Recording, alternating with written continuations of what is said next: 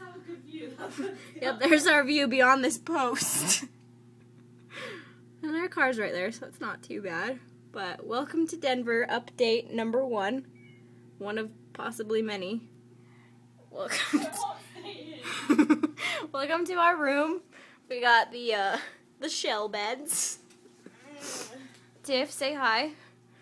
It's a little small, but because I am standing here in the corner, We'll get a free night.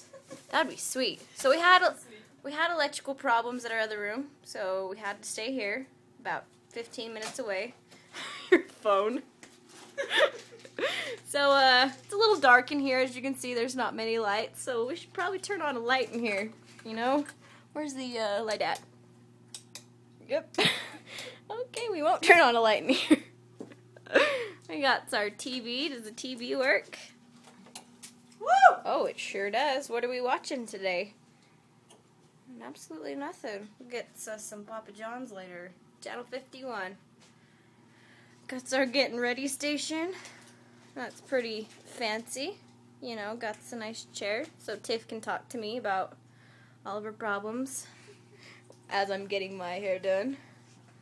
You know, and I was looking for a uh, place to charge our phones, and I'm like, where's an outlet at? There's not any in here. So Tiff finally found one. There it is.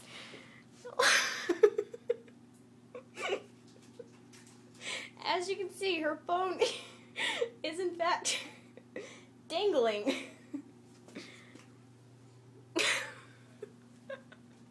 Here's our bathroom. Got a nice little counter. Got some coffee, even though we don't drink that shit. Cute little bathtub. So, oh, we got an ironing board, dude.